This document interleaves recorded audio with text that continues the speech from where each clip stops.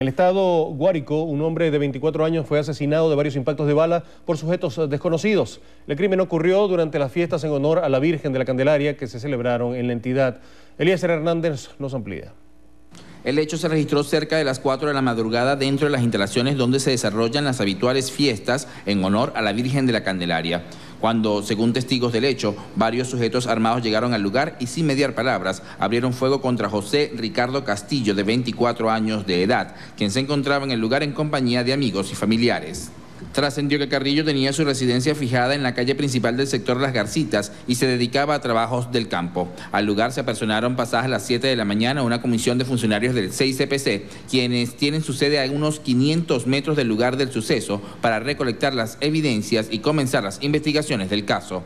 Desde el estado Guárico, Elías Hernández, Noticiero Venevisión.